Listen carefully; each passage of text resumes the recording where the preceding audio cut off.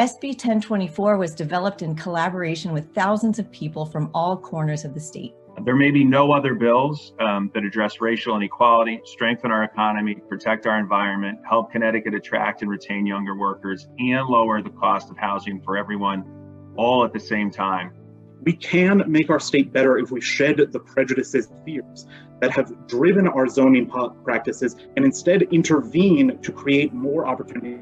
It's really about providing opportunity and allowing the market to determine whether a particular kind of housing is going to be developed or not. The status quo is clearly not working.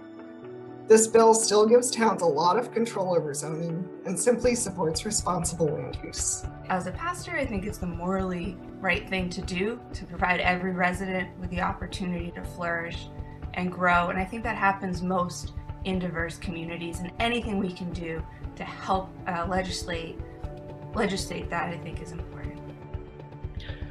Fortunately, building more diverse housing stock and expanding the amount of housing is not a zero sum game.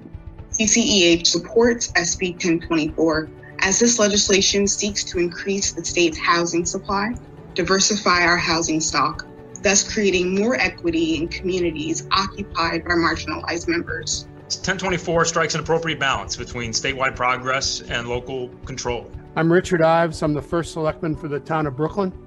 For a town like Brooklyn, I believe this helps us in many ways. Ultimately, conversations need to be backed by concrete actions to make these towns more inclusive and open to all kinds of people. And ultimately, ultimately, we need to desegregate Connecticut. Zoning can be used for good, and we should make sure that it is used for good. We must meet this urgent moment with action. SB 1024 makes Connecticut better, and I hope you vote in favor of it.